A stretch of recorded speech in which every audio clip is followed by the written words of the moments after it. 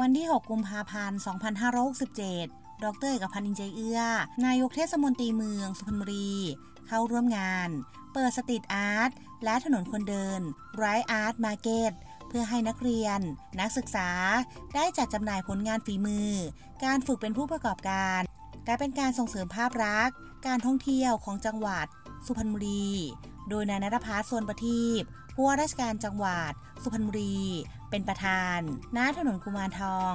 ข้างวิทยาลัยอาชีวศึกษา สุพรรณบุรี